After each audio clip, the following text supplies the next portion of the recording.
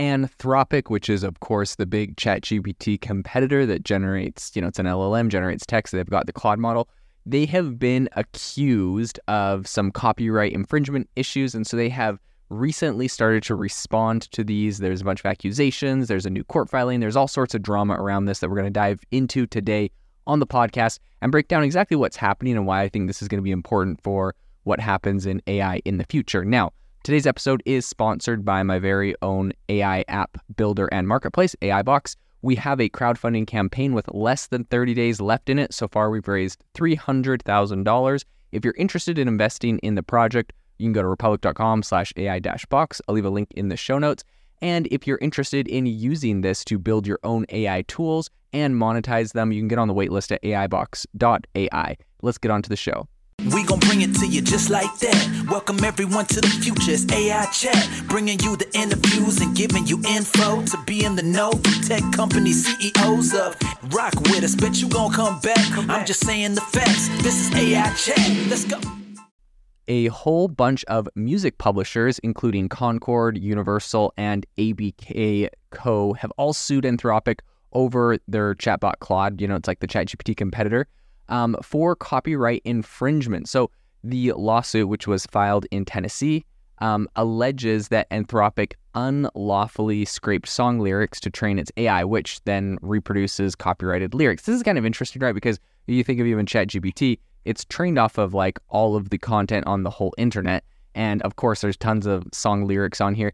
And one other thing that I'll say that's interesting about this, I'm curious. Um, I'm curious how this will go because this isn't something that's completely new. Um, I remember when Google similarly got sued by music publishers for essentially, I think they they scraped.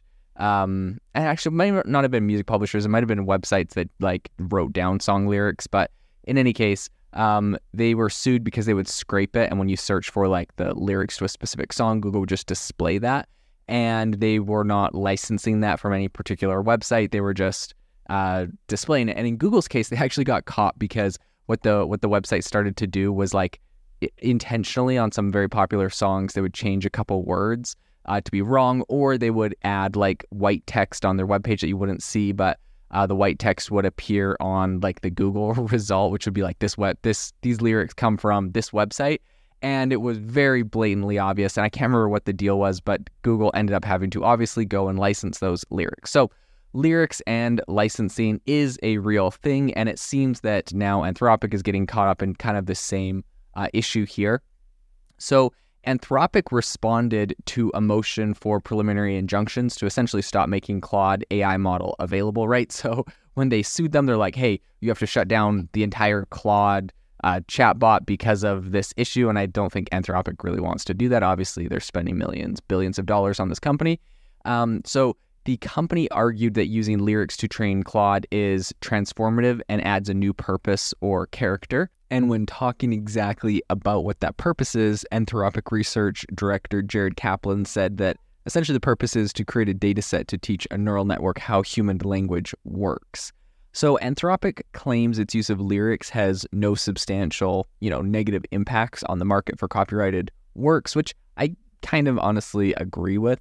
Um, but, you know, regardless of my opinion, song lyrics are a very tiny fraction of the training data, and licensing on those um, and on that scale, I think is a lot of people are arguing isn't feasible. So, so something really similar to what we're seeing with the New York Times lawsuit is that Anthropic um, is essentially saying that the the plaintiff or the people that are suing them, the way that they uh, essentially prompt Claude is what caused it to create this infringing content.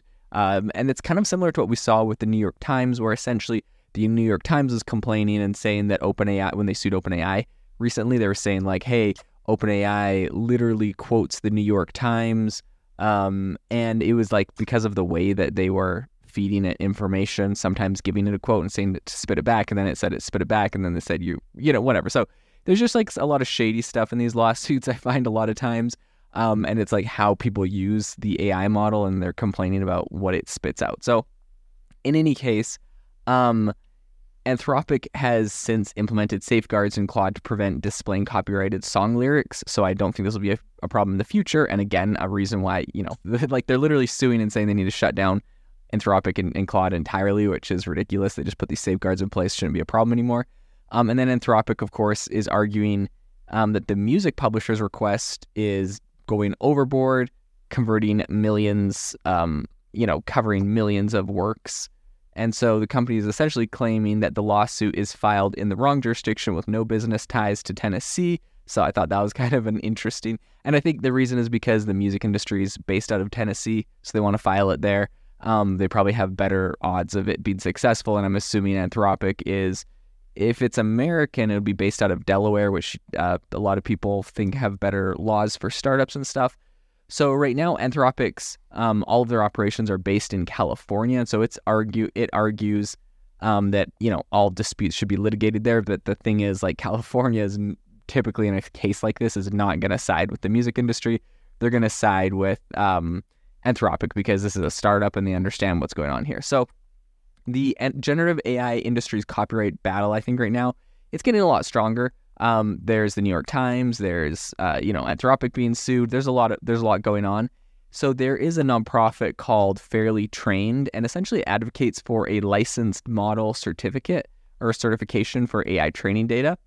Um, so platforms and companies right now are essentially giving legal defense for AI generated content users, um, and essentially to protect against these kind of issues, so the users don't have to worry about them.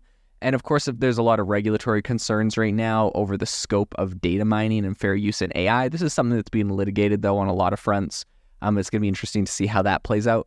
But I think right now, the outcome of Anthropic's legal battle and the impact it's going to have on generative AI's industry and their legal landscape, it's unclear, but it's definitely going to be very interesting because, um, I mean, as with the case with the New York Times, a lot of these cases are, are playing out in real time. And the way that they are settled is going to have a big impact on what these AI models are able to do in the future. So it's definitely something I will keep you updated on as it continues to progress. Have you ever wanted to start your own podcast? I record and publish podcasts on a platform called Spotify for Podcasters, and I absolutely love it. Essentially, you can upload from your phone or computer, and it distributes to every platform that plays podcasts. They support video podcasts, and you can make money on the platform with ads or even podcast subscriptions, something that has made my life so much easier as a podcaster. So if you're interested, I highly recommend you give it a try. You can download the Spotify for Podcast app or go to spotify.com slash podcasters to get started on your podcast today.